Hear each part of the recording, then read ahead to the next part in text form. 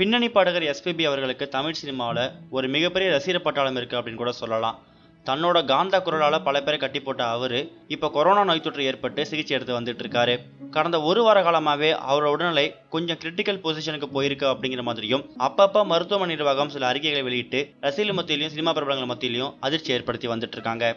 அடிக்கடி அவரோட உடல்நிலையை பற்றி மருத்துவமனை மட்டும் இல்லாமல் எஸ்பிபி அவரோட பையனாக இருக்கக்கூடிய எஸ்பி சரணம் ஒரு சில விஷயங்களை சொல்லி வந்துட்டு இருந்தாரு.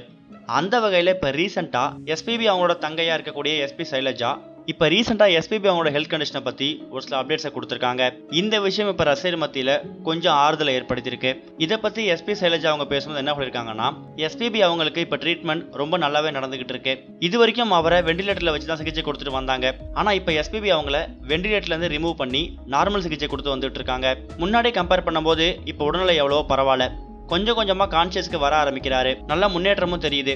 டாக்டர்ஸ் என்ன மாதிரி கொஸ்டின் கேட்குறாங்களோ அது எல்லாத்துக்கும் ரியாக்ட் பண்ணுறாரு தம்ஸ் அப் சைன்லாம் காமிக்கிறாரு.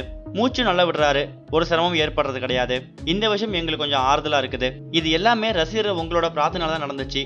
தொடர்ந்து நீங்கள் உங்கள் ப்ரேயரை பண்ணிக்கிட்டே இருங்க. நாங்களும் எங்கள் குடும்பத்தை சேர்ந்தவங்களும் தொடர்ந்து பிரார்த்தனை பண்ணிக்கிட்டே இருக்கோம்.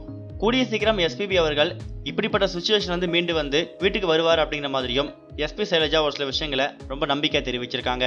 ஒரு தெலுங்கு சேனல்ல அவங்க பேசிக்கக்கூடிய இந்த ஆடியோ கால் தான் இப்போ சோஷியல் மீடியா ஃபுல்லாக வைரலா பரவி வந்துட்டு இருக்கு இது ஒரு பக்கம் இருக்க இயக்குனர் பாரதிராஜா அவர்கள் இப்போ ரீசெண்டாக ஒரு வீடியோவை ஷேர் பண்ணி எஸ்பிபி அவர்களை பற்றி ஒரு சில விஷயங்களை ஷேர் பண்ணியிருக்காரு அப்போ அவர் பேசும்போது என் நேசத்திற்கும் பாசத்திற்கும் உரிய பாலு என் டியர் பாலு எழுந்து வாடா. வாடா அப்படிங்கிற உரிமையை நான் உனக்கு கொடுத்தோம். வாடா அப்படின்னு சொல்லக்கூடிய உரிமையை நீ எனக்கு கொடுத்தோம். கிட்டத்தட்ட ஐம்பது வருஷ காலம் ஆயிடுச்சு. என்னோட ஸ்கூல் ஃப்ரெண்ட்ஸ் கிட்ட கூட நான் அப்படி பழகினது கிடையாது. அந்த அளவுக்கு உங்ககிட்ட ஒரு நட்பு இருந்துச்சு. நீ ஒரு கார் வச்சிருந்த ஃபியட் கார் வச்சிருந்த எந்த ஊருக்கு போனாலும் நீ தான் கார் ஓட்டிட்டு போவ டிரைவர் இல்லாம உன் கூட நானும் வருவேன். அதுக்கு காரணமே உனக்கு தூக்கம் வந்துடக்கூடாது அப்படிங்கிறதுக்காக நான் உன் கூட உட்காந்து கதை சொல்லிக்கிட்டே வருவேன். என்கிட்ட ஒரு நல்ல கதை இருக்குன்னு பிரசாத் ஸ்டுடியோ வாசல்ல உங்ககிட்ட சொன்னேன். அந்த கதையும் கேட்டுட்டு ஆரம்பிக்கிறதுக்கு ஐயாயிரம் ரூபாய் நீ எனக்கு பணம் கொடுத்த. ஒரு டைம் நானும் இளையராஜா நீ எல்லாம் வந்து நெல்லூருக்கு கச்சேரிக்கு போனோம். அப்போ உங்க வீட்டில் உட்காந்து சாப்பிட்டோம். ரொம்ப பெரிய வீடு அது. உன் வீட்டு உப்பு தின்னு நான் வளர்ந்துருக்கேன். அது மட்டும் இல்லை எப்படி எங்கெல்லாம் விட்டு போகிறது உனக்கு மனசு வரும்? வராது. நீ திரும்ப வந்துடுவ எனக்கு அந்த நம்பிக்கை இருக்கு. இது ஒரு பொன்மாலை பொழுது அப்படிங்கிற பாட்டை நீ தான் பாடியிருக்க. நீ பாடின பாட்டு வேணா பொன்மாலை பொழுதா இருக்கலாம். ஆனா ஒரு நாளும் உனக்கு பொன்மாலை பொழுது வரக்கூடாது. பாலு நான் மட்டும் இல்லை உலகத்தில் இருக்கக்கூடிய எல்லா கலைஞர்களும் இப்போ கண்ணீர் விட்டு அழுதுகிட்டு இருக்கோம். ரெண்டு நாளாக ஒன்று நினச்சி நான் பயங்கரமாக கண்ணீர் விட்டு கதறி அழுதுகிட்டு இருக்கேன்.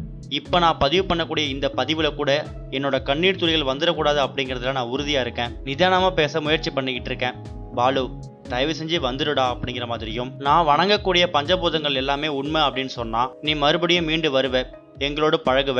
இன்னும் ஆயிரக்கணக்கான பாடல்களை பாட போற நீ ஒரு ஆண் குயில் தயவு செஞ்சு வந்துடுடா அப்படிங்கிற மாதிரியும் ரொம்ப பாசமாகவும் உரிமையாகவும் அந்த வீடியோ முடிக்கும் போது கண்கலங்கி பயங்கரமாக பயங்கரமா அழ ஆரம்பிச்சிட்டாரு பாரதி ராஜா இவர் ஷேர் பண்ணிருக்கக்கூடிய இந்த வீடியோ தான் இப்போ சோஷியல் மீடியா ஃபுல்லாக வைரலாக பரவி வந்துட்டு இருக்கு இது வரைக்கும் கனெக்டிங் டிவிக்கு சப்ஸ்கிரைப் பண்ணனா மறக்காமல் சப்ஸ்கிரைப் பண்ணிக்கங்க.